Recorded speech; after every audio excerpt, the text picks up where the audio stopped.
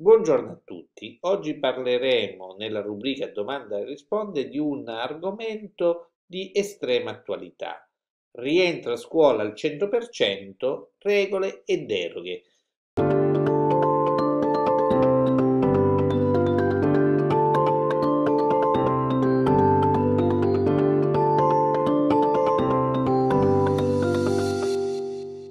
Passiamo alla prima domanda a cui daremo risposta.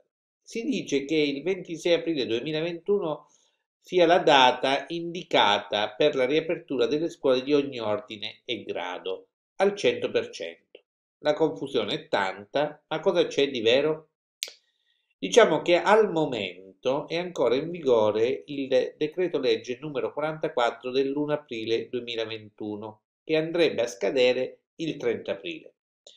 Però sappiamo che dal 26 aprile ci sarà un nuovo decreto legge sostitutivo che ci, ci accompagnerà fino al termine dell'anno scolastico 2020-21.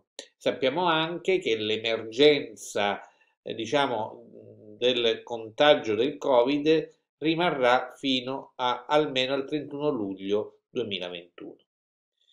Quindi dal 26 aprile è assicurato in presenza sull'intero territorio nazionale lo svolgimento dei servizi educativi per l'infanzia, ma ci sarà anche assicurata l'attività scolastica e didattica della scuola dell'infanzia, della scuola primaria, della scuola secondaria di primo grado, nonché delle attività scolastiche e didattiche della scuola secondaria di secondo grado almeno per il 50% della popolazione studentesca. Probabilmente le zone, diciamo, rosse ci sarà eh, la scuola in presenza per almeno il 50% della popolazione studentesca e per il massimo del 75% degli studenti di una scuola.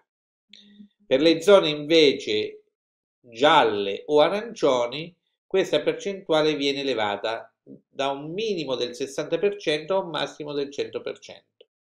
Questo verrà, queste percentuali verranno poi gestite eh, dall'autonomia eh, scolastica mantenendo i paletti della situazione minima di studenti che dovranno eh, obbligatoriamente riprendere in presenza.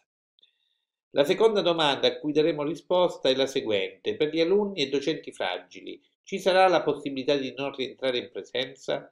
Beh, a questa domanda dobbiamo attendere che dopo il decreto legge che andrà in gazzetta ufficiale venerdì prossimo ci sarà una nota del Ministero dell'Istruzione a firma di Stefano Versari, capo dipartimento del MI, per chiarire anche il punto di eh, docenti e alunni fragili. Sicuramente si prevedono delle deroghe che consentiranno agli alunni fragili di poter eh, seguire a distanza. Per i docenti fragili vedremo perché questo potrebbe dipendere anche dal fatto se sono o non sono stati vaccinati.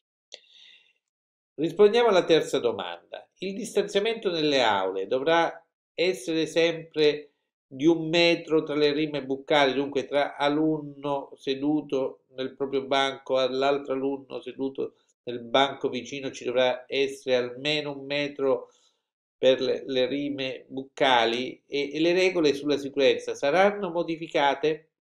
Beh, il distanziamento tra alunni eh, seduti resterà di almeno un metro tra le rime buccali, ma sarà obbligatorio indossare la mascherina per l'intera permanenza dei locali della scuola. Probabilmente saranno anche modificate le regole di sicurezza in funzione delle varianti presenti nel nostro paese.